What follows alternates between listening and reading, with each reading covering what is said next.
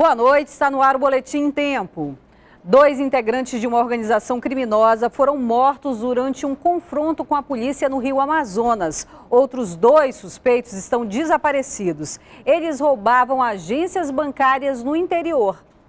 A quadrilha era composta por Rainer Felipe Viana Costa, Edson Duarte Andrade Lima, um suspeito conhecido como Velho e o quarto integrante que não foi identificado. Eles foram mortos nesta quarta-feira. Esses integrantes iriam realizar um novo roubo no município de Urucará, no estabelecimento bancário.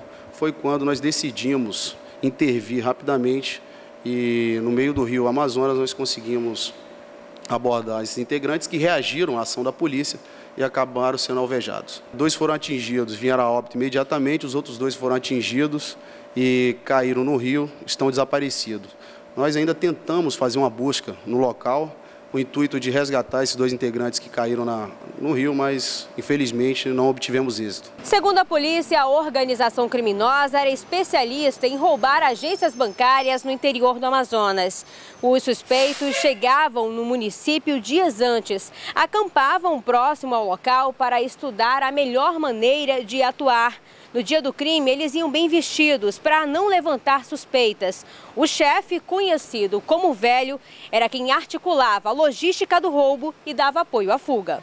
Os suspeitos roubaram 600 mil reais de um banco em Novo Aripuanã no ano passado. Edson e Rainer foram presos na cidade, mas fugiram dias depois. Em março, a quadrilha tentou roubar outra agência em Nova Olinda do Norte. E ontem, eles estavam indo para a cidade de Urucará. Em março, eles tentaram um novo roubo, né, onde foi frustrado, tendo em vista que os vigilantes da agência trocaram tiro com esses infratores.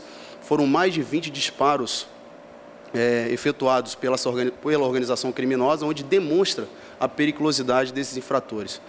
E agora, na quarta-feira, por volta de 14 horas, a equipe da DRF resolveu abordar esses integrantes dessa organização antes de chegar na, no município de Urucará, tendo em vista a periculosidade desses indivíduos e pudessem também atingir pessoas inocentes da comunidade. Duas pistolas .40 de uso restrito e munições foram apreendidas com os suspeitos. Uma manifestação foi feita hoje em frente ao Tribunal de Justiça do Estado. Foi em apoio aos policiais militares presos por suspeita de envolvimento no sumiço de três jovens no Nova Vitória, zona leste da capital. Os familiares dos PMs alegam não haver provas suficientes. A dona Ernestina é mãe do PM Luiz Ramos. Ele está preso há cinco meses, segundo ela, sem provas. Eu não entendo o motivo do meu filho estar preso porque não existe prova contra eles. Eles são inocentes. Em nenhum momento a prova apresentada nos autos dizem que a viatura estava presente no local. Ela e outros familiares se juntaram para pedir justiça. Por que ele continua preso? Que provas tem? Tudo forjado? Essas provas que não, sinceramente, não identifica nada. Os policiais foram presos em novembro do ano passado. De acordo com a justiça, eles são os principais suspeitos no desaparecimento dos jovens. Dos dez policiais presos, dois já foram soltos. Esta advogada defende sete PMs e pede providências. Ela diz não haver provas suficientes para mantê-los presos. Que as provas que apresentaram, é, elas não estão coerentes com a realidade dos fatos. Por quê? O GPS da viatura de todos eles diz que nenhuma viatura esteve no local que encontraram alguns objetos, nenhuma viatura esteve no local em que dizem que houve uma execução. O juiz, está, no momento, está demorando muito verificar. Hoje, estamos aqui sofrendo com dor. Então, quero saber por que, que tanta demora, né, para o juiz dar essa resposta. O juiz Mauro Antoni, da terceira vara do Tribunal do Júri, é o responsável pelo caso que ainda não tem julgamento marcado. E em Parintins, a polícia investiga dois vídeos de uma suposta cobrança de traficantes no município. Os dois jovens são punidos porque não prestaram contas aos traficantes da droga que receberam para distribuir na cidade. 20 de 20 cada, 20 cada. Vai lá, Fred. Vai, mano. Se gritar, vai pegar mais, hein? Este outro apanha porque teria agredido a cacetadas uma pessoa ligada ao tráfico na área do bairro da União, zona sul da cidade. Bora cobrar, meu irmão. Bora pra cobrar, bora. Desculpa, desculpa. Ainda vai bater nos outros ainda? Vai bater nos outros, não? Pois é. família, tá irmão. Tá ligado, entendeu? A Polícia Civil abriu um procedimento para tentar identificar quem são as pessoas que aparecem nas imagens. O delegado Bruno Fraga quer saber quem comandou a sessão de espancamento aos supostos aviões do tráfico. Nós tomamos conhecimento desse vídeo de que onde aparece pessoas agredindo outras se é supostamente motivadas por cobrança. Nós vamos analisar e investigar para saber a motivação dessa, dessa conduta criminosa e identificar todos os autores que aparecem nas imagens. Essas, esse vídeo foi divulgado ontem em uma rede social e tão logo a polícia tomou conhecimento já começou o trabalho de investigação. Nós pretendemos aí entregá-los para a justiça com a maior brevidade possível.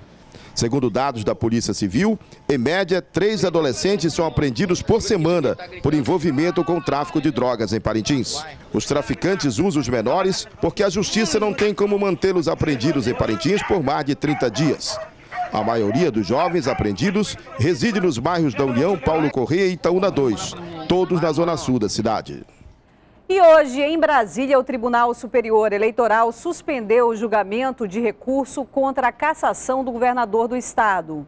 O julgamento no TSE era aguardado desde janeiro. Ano passado, José Melo entrou com recurso contra a decisão do Tribunal Regional Eleitoral do Amazonas de cassar o mandato dele e do vice Henrique Oliveira. Os dois são acusados de compra de votos durante a campanha eleitoral de 2014. Durante a sessão de hoje, em Brasília, o relator do processo, Napoleão Nunes Maia Filho, foi contrário à cassação do governador.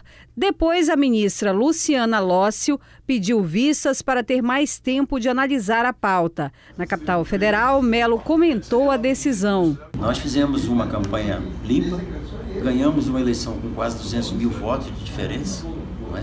Em nenhum momento utilizamos de recursos que não fossem legais para fazer a nossa eleição e de repente vêm os processos eivados de muitos, de muitos vícios, de muitas incorreções que, que o relator colocou é, no, seu, no, seu voto. Portanto, eu continuo confiando em Deus, confiando na, na, na justiça é, do meu Estado e continuo trabalhando. Ainda não há previsão de quando o processo vai voltar a ser julgado. E amanhã tem o um evento de música gospel Jesus Live, vai ser na Arena da Amazônia e ainda tem ingressos à venda.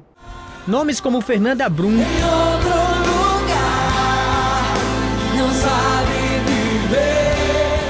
Juliano Som e Banda Livres e Elder e Banda serão as atrações do primeiro Jesus Live. O palco passa pelos últimos ajustes. A gente está com uma expectativa muito boa. É, as pessoas estão falando muito do evento, todo mundo comentando, compartilhando nas redes sociais. Então a gente está com uma expectativa de 8 mil pessoas. O evento está marcado para amanhã, aqui na Arena da Amazônia, neste local conhecido como Pódio. A festa começa a partir das 7 horas da noite. Os ingressos estão sendo vendidos nas lojas Asia Fashion e vão estar disponíveis também amanhã a partir das 9 horas da manhã na bilheteria da Arena da Amazônia. E a Arena da Amazônia vai receber grandes jogos no mês que vem. Um deles é o amistoso de futebol entre as seleções femininas brasileira e boliviana. Desta vez, parte da renda vai ser destinada para os times que vão disputar o campeonato amazonense. O jogo vai ser realizado dia 9 de abril. O amistoso entre a seleção brasileira feminina de futebol e seleção boliviana será uma preparação para a Copa América de 2018.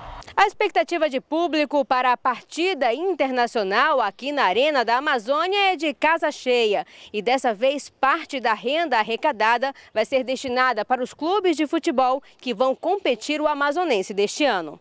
7% da renda e mais toda a arrecadação das bebidas, do, dos bares que foram vendidos aqui, serão revestidos aos clubes.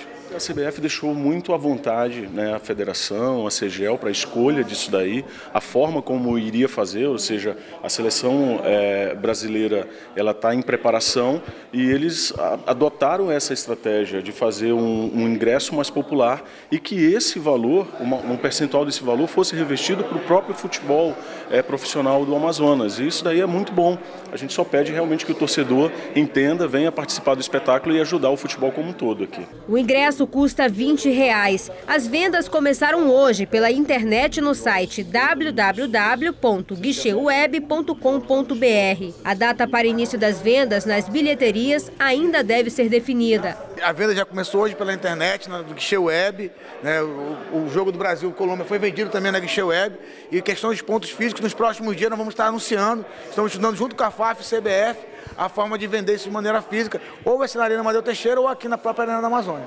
No dia 12 de abril, a Arena também vai receber um jogo entre os times femininos de Iranduba e Corinthians pelo Campeonato Brasileiro. O valor arrecadado com a venda dos ingressos também vai ser destinado para o clube de Iranduba.